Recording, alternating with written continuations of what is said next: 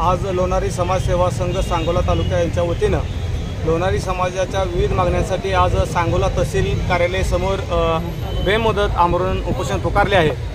आमच्या लोणारी समाजाच्या मागण्या प्रमुख आहेत की लोणारी समाज विकास लोणारी समाजाला आर्थिक विकास महामंडळ मिळालं पाहिजे. तसेच सांगोला शहरामध्ये मुख्य चौकामध्ये दादरे साहेबांचं स्मारक उभं राहिलं पाहिजे.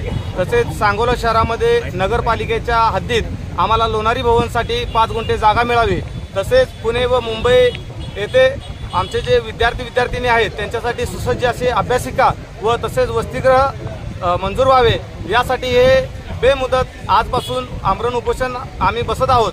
त्याचबरोबर माझे या संघटनेचे सचिव दत्तात्रय नळे तसेच लोणारी समाजसेवा संघटनेचे तालुका संघटक बाबासाहेब खांडेकर व मी स्वतः तालुका अध्यक्ष संतोष करांडे आजपासून बेमुदत आमरण उपोषणाला बसत आहोत.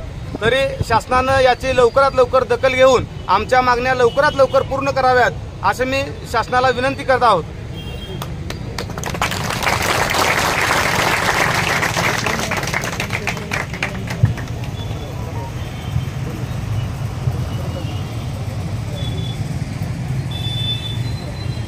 या ज्या प्रमुख चार मागण्या आहेत या जोपर्यंत आमच्या मागण्या पूर्ण होणार नाहीत तोपर्यंत हे आमरण उपोषण मागे घेतले जाणार नाही. आम्ही इथंच ठाण मांडून राहू आणि सरकारला सरकारने लवकरात लवकर या निर्णयाची दखल घ्यावी अशी सांगोला लोणारी समाजसेवा संघ सांगोला तालुक्याच्या वतीनं मी विनंती करतो.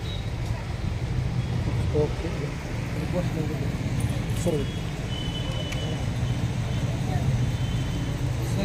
घोषणा द्या तुमच्या लोणारी समाज एकजुटीचा लोणारी